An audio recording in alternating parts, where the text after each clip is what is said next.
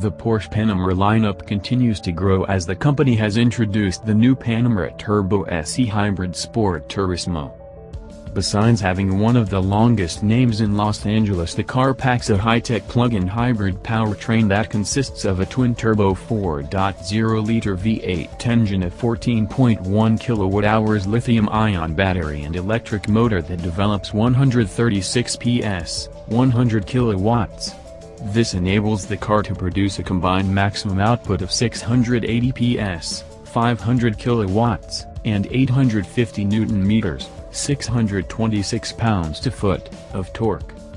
Those are impressive performance figures for a plug-in hybrid and they show at the track as the all-wheel drive wagon can accelerate from 0 to 100 km per hour, 0 to 62 miles per hour, in 3.4 seconds before hitting a top speed of 310 km per hour, 192 miles per hour.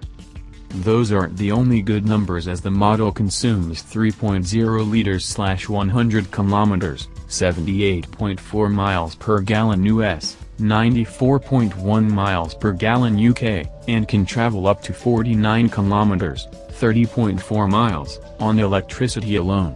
Of course to get the best mileage owners will have to keep the battery charged and that can take between 2.4 and 6 hours. While the car's powertrain carries over from the Panamera Turbo S E-Hybrid the real advantage of the Sport Turismo variant is its larger luggage compartment which can hold 1,295 liters, 45.7 cubic feet, of cargo when the rear seats are folded down. The car also has a 4 plus 1 seating configuration which is a fancy way of saying the rear seat can accommodate up to 3 people. The Porsche Panamera Turbo S E-Hybrid Sport Turismo will begin arriving at U.S. dealerships next spring and pricing starts at $188,400.